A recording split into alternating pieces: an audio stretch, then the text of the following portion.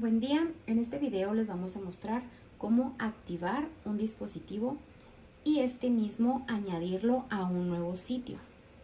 Procedemos entrando en la parte superior a sitio y dispositivos.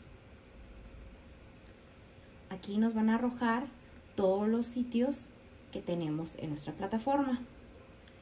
Tenemos un botón que dice añadir un nuevo sitio. Vamos a darle clic se nos despliega una ventana del lado derecho.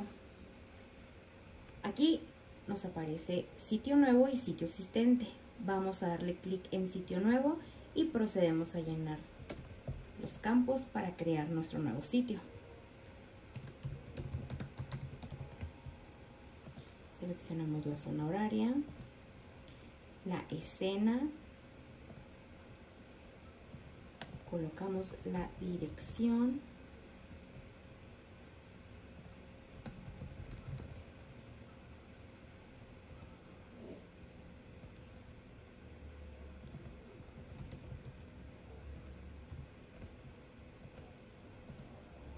seleccionamos el estado y vamos a darle clic para que se cree nuestro nuevo sitio. Nos va a volver a retornar en la parte de sitios y dispositivos.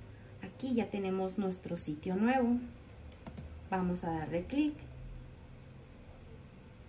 Dentro de nuestro nuevo sitio tenemos un botón rojo donde dice añadir dispositivo vamos a darle clic para comenzar activando nuestro dispositivo y a la misma vez añadiéndolo a nuestro nuevo sitio. Tenemos una cámara IP, la seleccionamos y vamos a proceder nuestra activación. Para poderla activar hay que añadir la contraseña de nuestro dispositivo y la confirmamos. Luego procedemos a darle siguiente y esperamos un par de segundos en lo que se activa nuestro dispositivo. Aquí ya tenemos nuestro dispositivo en línea. En estas letritas verdes nos aparece que ya está activado. Procedemos a establecerle un código de verificación.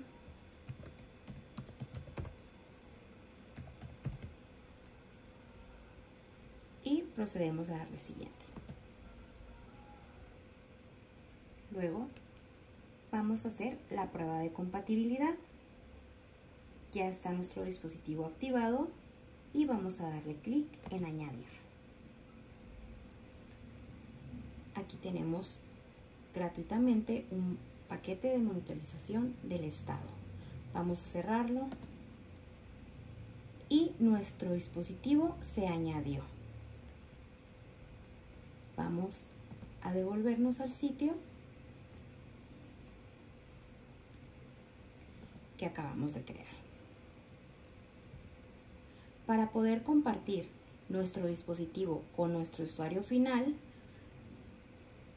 nos aparece aquí de este lado derecho transferir o compartir. Nosotros vamos a seleccionar compartir. Aceptamos los avisos importantes que son como los avisos de privacidad. Y vamos a establecer los permisos para compartirlos con el cliente. Le vamos a dar siguiente y vamos a solicitar los permisos que nosotros vamos a requerir. En este caso, vista en directo y reproducción. Vamos a darle siguiente. Y aquí tenemos dos opciones para compartir nuestro dispositivo. El primero que es por correo electrónico y el segundo por número de teléfono. Esto dependerá de con qué se dio de alta la cuenta de nuestro cliente. En este caso vamos a introducir el correo electrónico.